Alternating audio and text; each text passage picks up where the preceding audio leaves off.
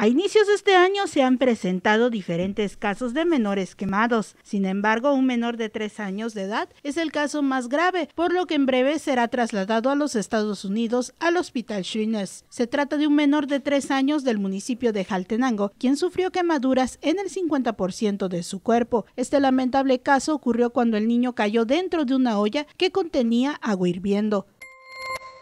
Fue trasladado en helicóptero por la Secretaría de Protección Civil, ya se encuentra en el Hospital Gilberto Gómez Maza, donde están revalorando el porcentaje. Este pequeño será el primer menor trasladado al Hospital Shrines en Galveston, Texas, Estados Unidos. Únicamente están esperando realizar el papeleo correspondiente de visas y pasaportes. En este 2022 en el estado de Chiapas, el total de los casos de accidentes en quemaduras al 100% ha sido con líquidos hirviendo, además de que actualmente estos casos ocurren en todo el estado. Dentro de las causas, además de líquidos, están las quemaduras por fuego directo seguido de pirotecnia. Ante ello, exhortó a la población chiapaneca a estar al pendiente de los niños a no dejarlos solos para evitar estos casos que tienen repercusiones de por vida, especialmente en tiempos de pandemia. Claudia Lobatón, Mega Noticias.